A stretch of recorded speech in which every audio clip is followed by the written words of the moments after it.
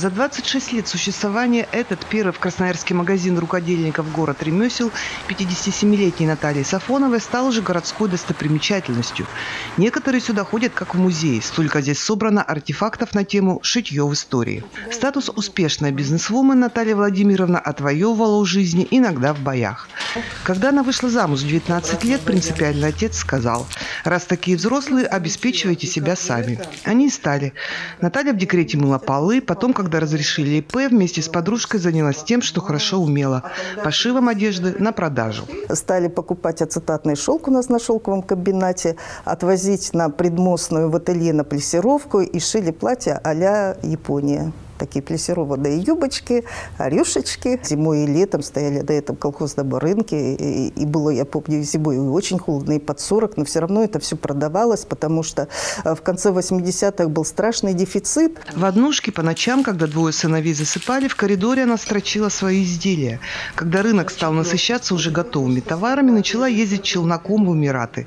Все купленное продавала уже в собственном магазине. Бизнесмены, выжившие в 90-х, это, безусловно, любимцы судьбы судьбы. Ведь пули тогда летели со всех сторон. Сафонову, правда, не трогали. У меня была записная книжечка, где у меня была записана фамилия одного бандита, который меня крышевал. Я его фамилию скрывал. Он до, ну, в то время был достаточно известным человеком. Как бы меня это все обошло. Э, и бандиты, и все. Хотя, конечно, большим ударом было, когда в 94 году убили Виктора Цимика, и когда его хоронил весь город. То есть это был вот такое страшное событие. Ей все же, признается Наталья Сафонова, помог тот факт, что муж работал в милиции, а также доброе имя отца. Владимир Кузнецов много лет занимал руководящие партийные должности. С 89 по 91 был главой Красноярска.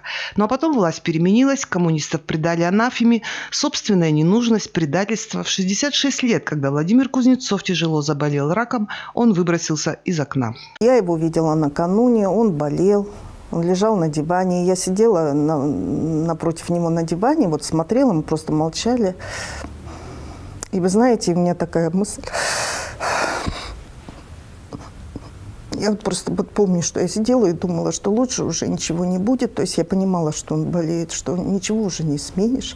Как-то вот так вот. И мы молча расстались, и я ушла. Когда в 91 году Советы разогнали, то есть многие люди, которым но он как-то, я так думаю, он помогал как-то по жизни, и все, многие же отвернулись. Он не хотел лечиться, он не хотел, он не обращался к врачам, то есть он считал, что ему незачем жить уже разочарование. Ну, вот люди приходят, мы же не знаем, вот как Клешко к этому пришел. Тоже, казалось бы, на взлете карьеры.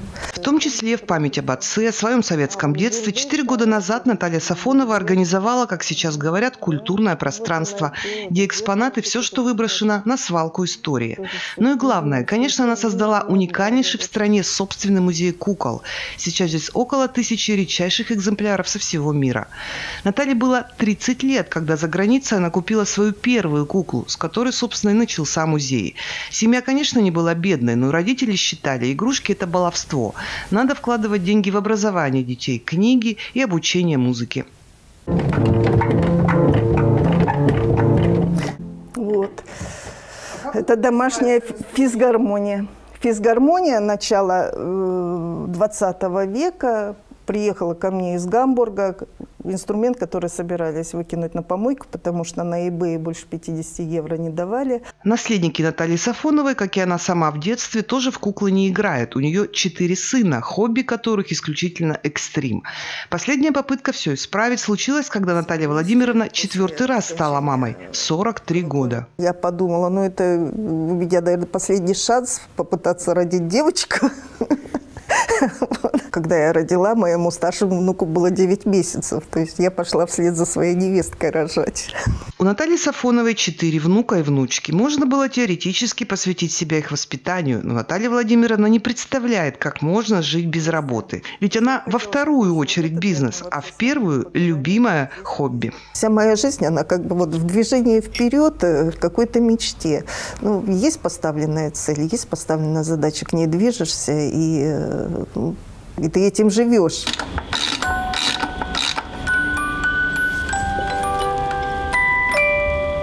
Наталья Кична, Александр Карпов, Сергей Токарев. Новости ТВК.